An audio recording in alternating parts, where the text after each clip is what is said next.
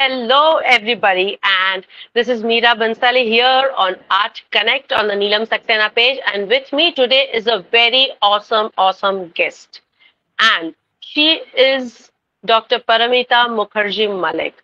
You must have heard her name many a times, I'm sure of that, because she is much more than, uh, you know, a poetess. She's a lot more. So, Dr. Paramita, please introduce yourself, please. Firstly, thank you so much, Meera, for inviting me to this Neelam Saxena page show. And I'm thankful to Neelam ji also. So thank you, thank you so much. I'm delighted to be here. Um, uh, when I introduce myself, firstly, I want to say that I I love science and I love literature that's and and i feel because i have done my phd in genetic toxicology taught in a college for many years been a principal of a college and then suddenly i started loving poetry and i came into literature. And it makes me very feel very complete you know that i have a little humble knowledge of science and i have a little humble knowledge of literature so I am here, you know, and now I am so, so deep into uh, poetry that I have two forums under me, and I'm blessed to have these forums under me. I am the president and the initiator of the Intercultural Poetry and Performance Library, Mumbai chapter. And I am also the cultural convener and the literary coordinator of another very good organization called International Society for uh, Intercultural Studies and Research, ISISAR. So I look after these two uh, uh, in the Western zone. I look after this in the Western Indian zone. So I'm very blessed in the sense that I love promoting poetry and having these two uh, forums under me, it helps me a lot to promote poetry. So here am I uh, my humble me that is that is yeah. yeah. this is truly humble because i think uh, ma'am has just uh, forgotten i might say to tell her about her accolades her awards where are those those are missing right now so you did not tell that to your guests. Please even do that. Please, please tell us about all your awards. Um, awards are, I feel, you know, when you talk about your own awards, I, I don't feel comfortable talking about them because I feel awards okay. are something which help me and other poets and other artists to to know that you're going in the right direction you know you're going in the right direction and I'll again tell you, tell all of you that since I was completely from science, from genetics to literature, I knew nothing of poetry as such. It was my heart which helped me to write poetry, my emotions on paper.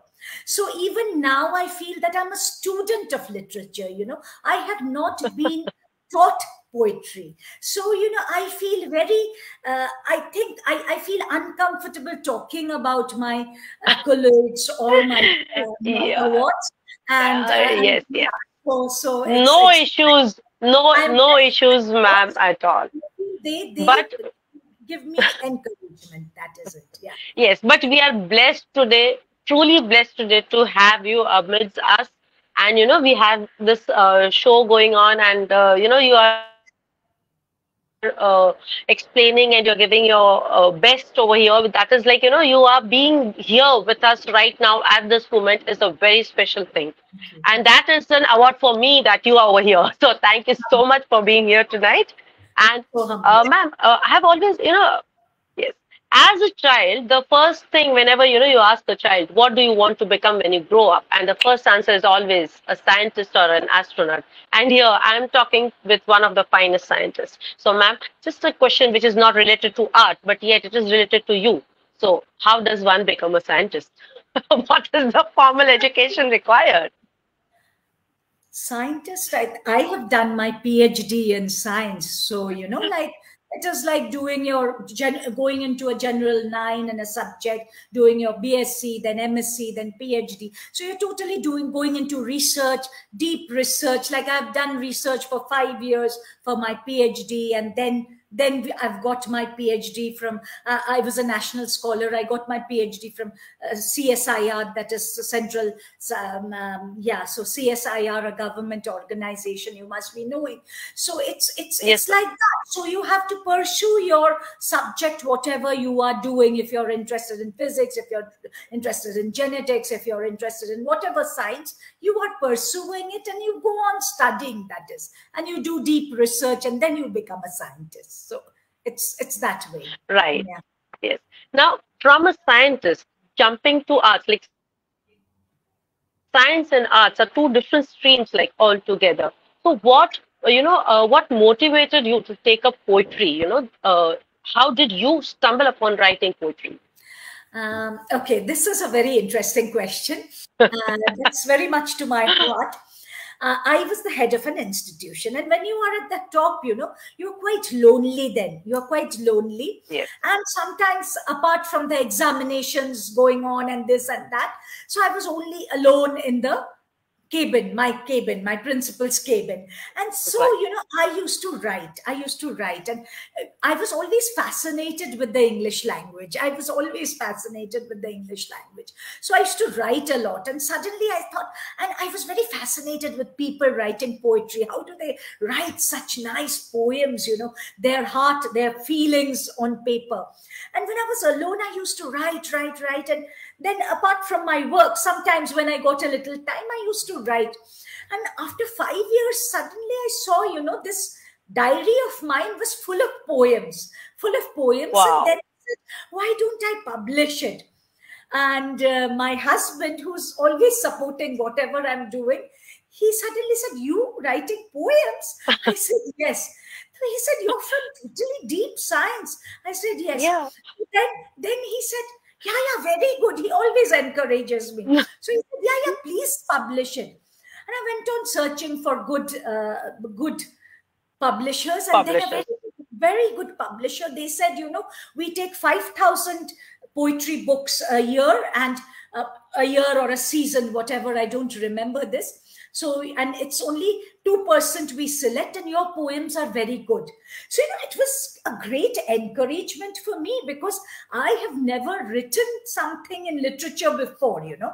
I used to yeah. write, I have many international papers in science in all international journals, scientific journals. By then, I'm talking about uh, some years yeah. back. So I was very much thrilled. I said, Oh my God, such a big publisher, and saying this in words that you know that only 2% is selected and your work is very good. So that encouraged me a lot. And then that became a junoon of mine, you know, a great passion. I started writing one after the other, and my 10th book is to be released soon. Yes.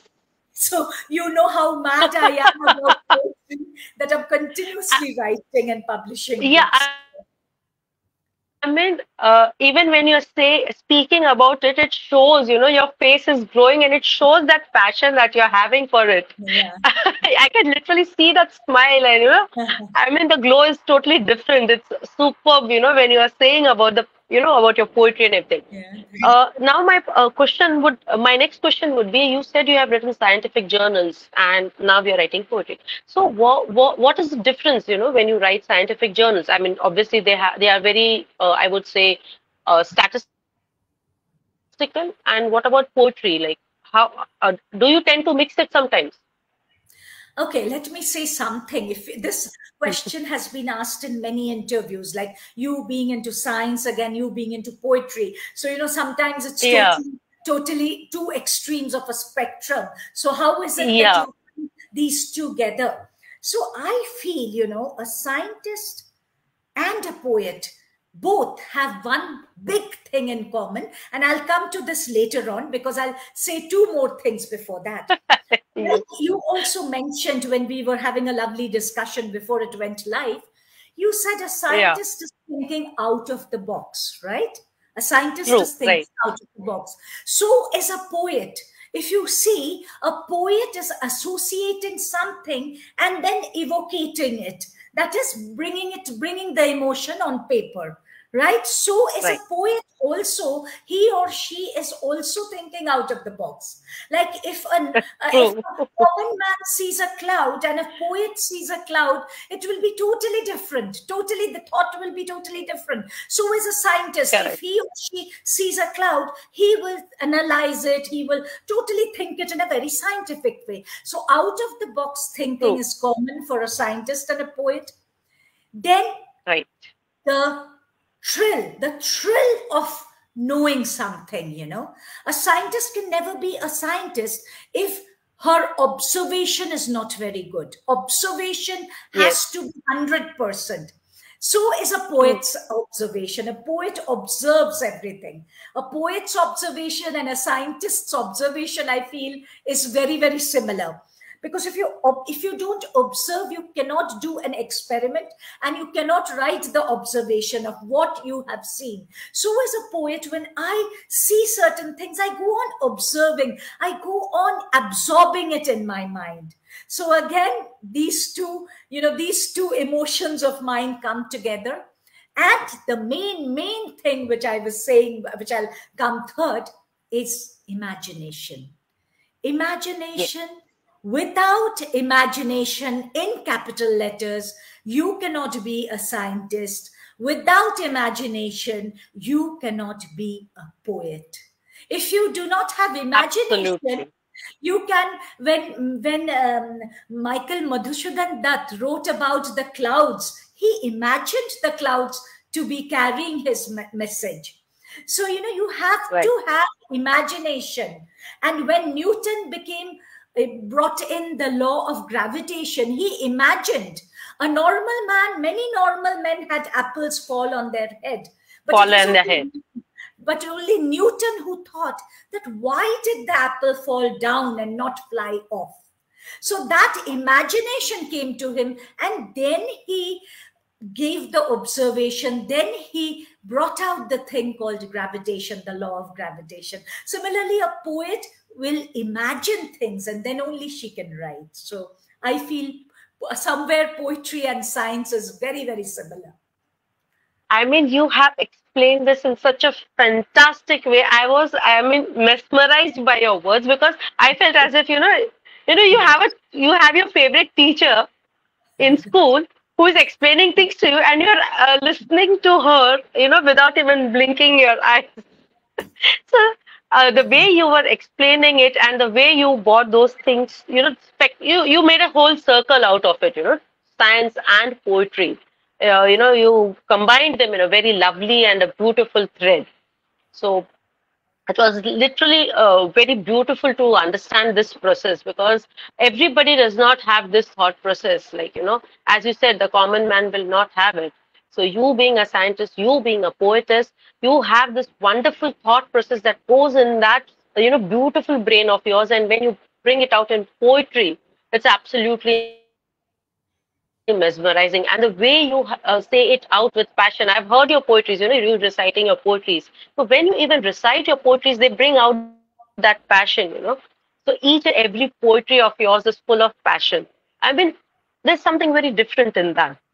So, ma'am, my next question would be like, um, as you said that, you know, uh, you started writing poetry uh, as and when you were feeling lonely or something like that. So, uh, once you started writing poetries, uh, and I mean, are you going to just stop at writing poetry, or are you going to go to, you know, you're going to explore different genres, or have you already explored different genres? Tell us about something about your new book as well.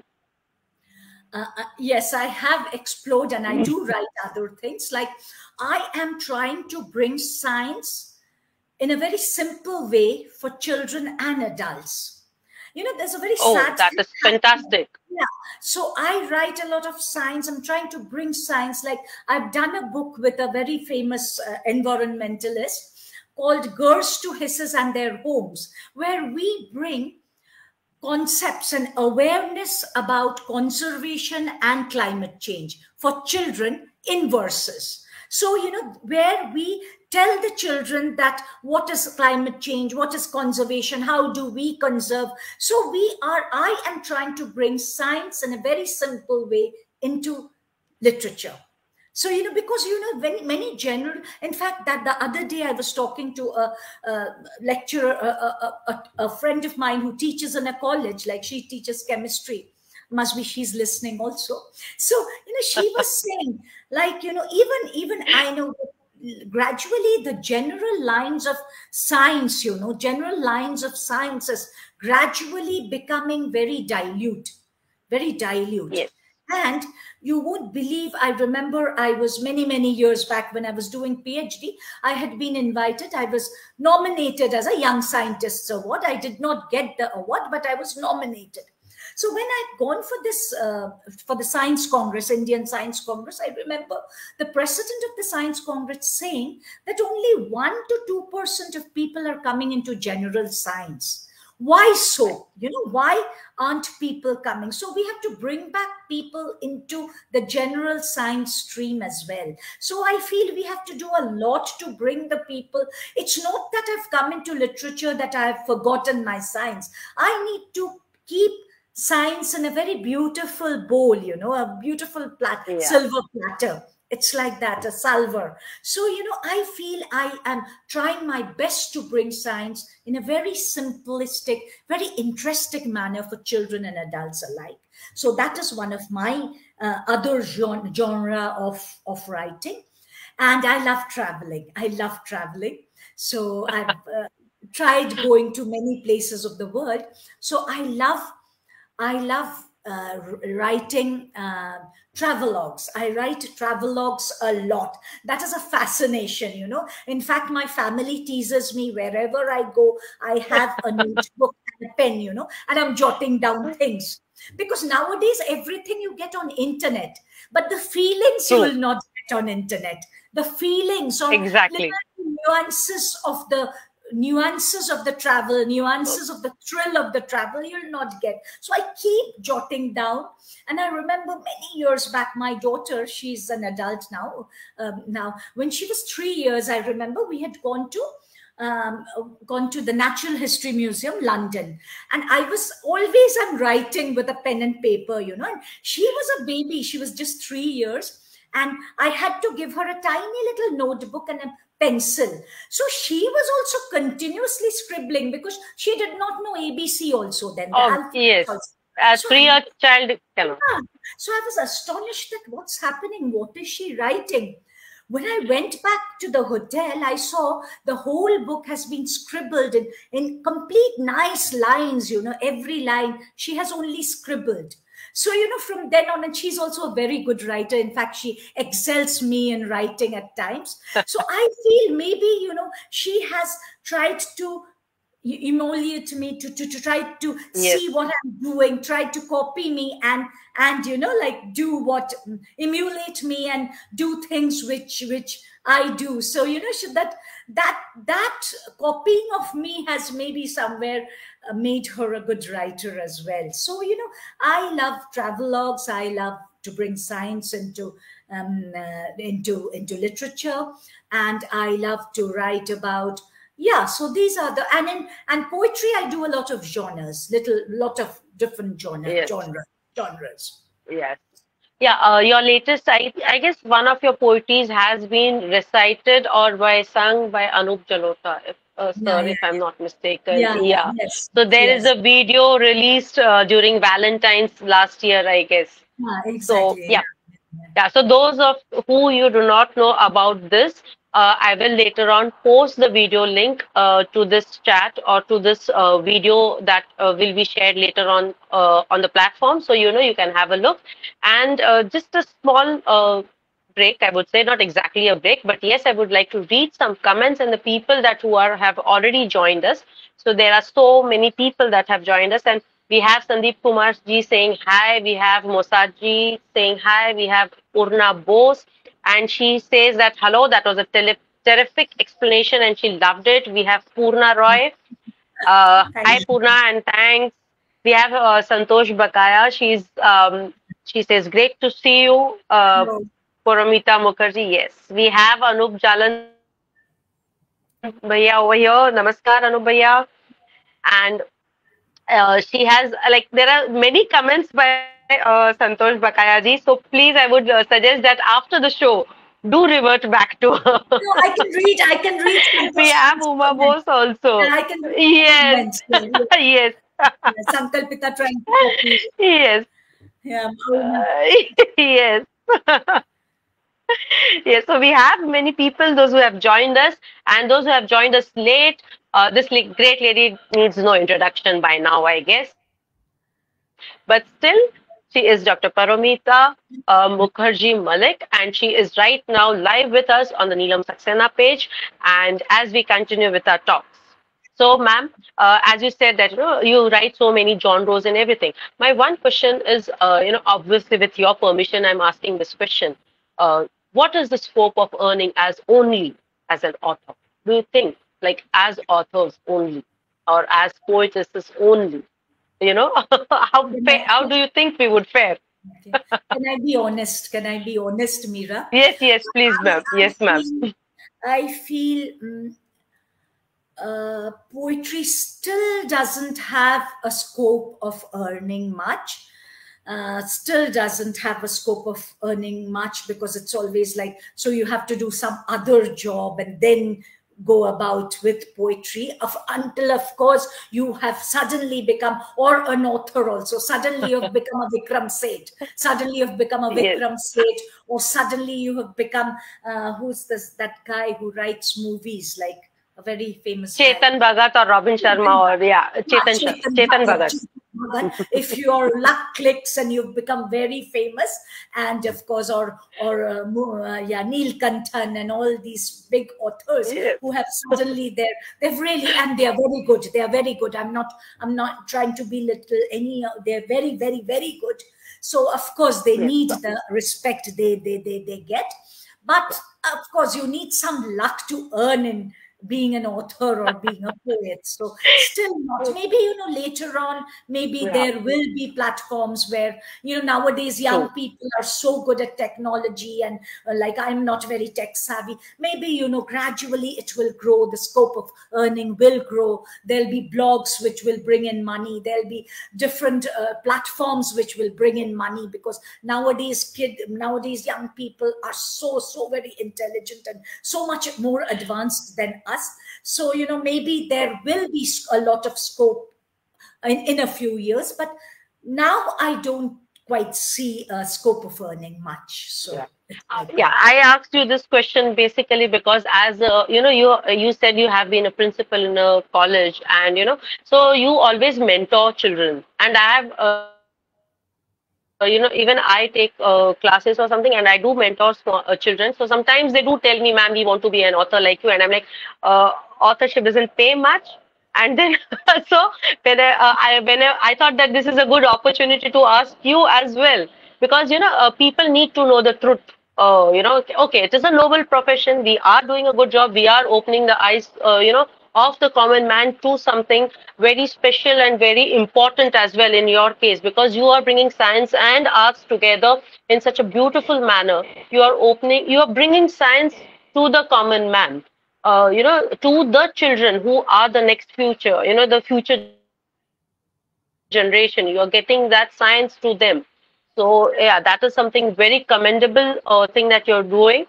And um, my next question would be ma'am sorry um, sorry to interrupt you. Before your next, yeah. can I take two minutes to say something?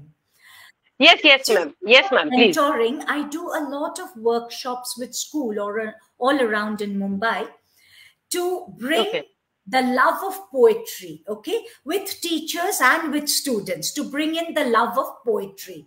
So, you know, sometimes I, I might sound like Marie Antoinette at this moment, but sometimes I feel, I feel, you know, there is sometimes something more than money at times. I feel yes. poetry True. makes you a complete person. Poetry makes you a good person. Poetry makes you you know because your emotions you can express them there's a therapy called writing exactly. therapy so poetry is like yes. a therapy whatever you are feeling your heart's feeling your emotions you put it down on paper so that way you are becoming a much more better person and i feel when i True. promote poetry in children i feel i am bringing up a, a, new generation of good people. And that is a scarcity now you know. That is a big scarcity. So i feel there is at certain times there is something more than money. And that is being a good yes. person. So i think poetry yes. makes people a good person. And it has made me a complete person. And and i have a holistic view about everything now. So i feel poetry gives you much more than money at times Yes, you so, have already taken uh, the answer. I mean, the next question was uh, how did it help in your own personal mental wellness? Uh, that was the question that I was I've coming answered, to. I've answered that. I've answered that. yes, yes, you have answered that already. And uh, my obviously, uh, you know, uh, the question always arises for an artist that when you are practicing an art, uh, there's this, uh, you know, there's something called a self satisfaction. You did something or you wrote something and you're like, okay, fine, now I'm satisfied. So does that happen with you, or do you think there's, you know, you know, you know, how many times do you have to cut it and rewrite it, and you're like, no, I still need to, you know, better myself. So do you have that phase, you know, going through you sometimes? Like, do you have that? I mean, does that happen? Yeah, yeah that happens to everybody. but sometimes, you know, when I write and then I re- re- read that and I feel very happy. Oh my God, I've written this, you know. sometimes, you know, there is a, a, time constraint. Supposing they've given you yes. a prompt prompt and you have to give it within two days then you know it be- yes. you become a little mechanical but i try to take the prompts and write it yes. but uh, so then maybe not always sometimes you feel it could have been better it could have been better but yes. but sometimes again like i said i feel very happy oh my god i've written this myself it's so nice you know and then then so it's it's a mixture it's a mixed feeling it's a mixed feeling yes so, uh, ma'am, uh, I mean, you have uh, my next question actually was, uh, you know, how would you uh, mentor or you, you know, aspire artists to join? But then you are already doing such commendable job. You already have, you know, you go to schools, you have uh, writing clubs, and you, I mean, you are already mentoring them so i have i mean i'm out of questions now because you have answered almost everything. But i really want to hear more from you because uh, what words that you say are truly uh, you know inspiring for the next generation. So can you uh, you know uh, give us more inputs uh, about how do uh, one connect with you if you know they want to join your the place where you're mentoring or how does one connect with you if they want you to call over for say mentoring a school or something like that for the next generation so how how can you know a person come to you how can they connect with you uh, through what like you can email me they can email me if you if you want you can put the email id here and yes ma'am yeah, yes ma'am uh, I at the moment do not have your email ID. Uh, I just have your Insta ID. Yes, ma'am. Please, please. Yeah. Yes, ma'am. Please do. Yeah. So your email ID and ma'am is also there on Insta uh, as I guess poetry underscore 31 or something. Poetry underscore world 31. Poetry world 31. Yeah. World 31. Yeah. Word 31. Yeah. So I'm just putting that also. Yes, ma'am. Uh, ma'am, I would even like to know about your experience with Anup Jalota, sir because that is something uh, you know everybody does not get the chance to uh, you know be on the same page with him. My email id is this and my insta handle is just a second insta handle. Yes. Handle is um,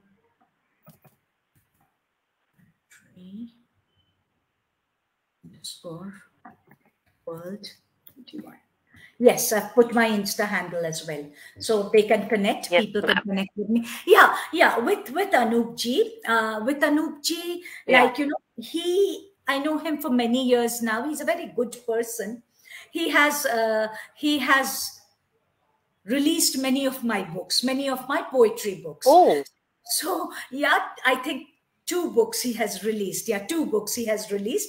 And every time he reads the poems, he used to he used to read the poems. He used to tell me, Paramita, I really like your poems. Paramita, I really like your poems. So one day we were just uh, you know having a discussion, and then we both came up with this idea, this project of me reciting my poems, and he will sing sing my poem like you know. And this is the first time in his almost 44 45 years of career that he sang an english song for the first time. So yeah. he was saying romita english song i've never sung. I said no no no no no we'll go go go together we'll we'll do it together so he said okay okay and then then he put music he composed the music and then uh, jolly mukherjee he he he you know gave the music to it and but it was the composition of the music was Anupji's. So we went went along doing this. So he was Anupji was very thrilled, very happy because it's his first ever English song he sang. So so, so like that, that that was like truly truly truly you know I mean uh, I'm getting goosebumps hearing that because uh, I mean for generations you can say like you know generations have been listening to Anupji and uh, it is like really an honor even to talk with you as well because I mean you have connected with him and he has sung one of your poetries. I mean that is truly truly amazing. And uh, I have already yeah so I'll uh, for the audience, I have, uh, you know, I'll just uh, show your email ID. Uh, so this is the email ID uh, you can see on the screen. And this is the Insta handle that you can see on screen. Yeah. So we have been talking for almost more than 30 minutes and it is a wrap up time. Yes, time flies. uh, yeah, we did not time travel, but yes, time does fly fast. It's almost 30 minutes since we have been having this interesting talk over here. So, uh, to my dear listeners and to the dear viewers, thank you for being continuously with us on air. And uh, I have been talking to Dr. Paramita over here, and she is a scientist and a poetess, and she uh, takes pride in being both and i'm really glad today that uh, you know i could invite her on the neelam saxena page on the show art connect and have such a beautiful conversation with her. So thank you to the audience and thank you to ma'am. Thank you for neelam b as well. She's not here at the moment uh, because of some personal issues but yes she sends her love and regards. And thank you everybody for being here. Ma'am your words please Thank you, Meera. Thank you so much for inviting me here once more. A big, big heartfelt thank you, for heartfelt gratitude from my side. Thank you, everyone who are listening to, listening and watching to this show. Very, very dear people of mine, Urna, Purna, Santosh, G, Santosh ma'am, and everybody yes. out there. Some of you I don't know, but hello. And it was so wonderful talking to you. The questions were so much to my liking, and I hope I did justice to your lovely questions. And thank you once mm. more. Yes, ma'am, you have been beautiful, and you really, you know, you you gave a very uh, I would say very comprehensive answers, you know, I mean, and your explanation like a teacher, you know, everybody was in rapt attention as me, like, you know, listening to you. And it was wonderful listening to you. Thank you so much for coming over. Thank you. And uh, if there has been, you know, internet connections, then sorry for that. because I feel that somewhere the internet is lagging. But yes, we did continue and we did conclude this program. So thank you, uh, everybody. Thank you so much. Good night and see you at the next episode. Bye. Good night, Good night all of you. Take care. Take care. Take care, Meera. Thank you. Thank you.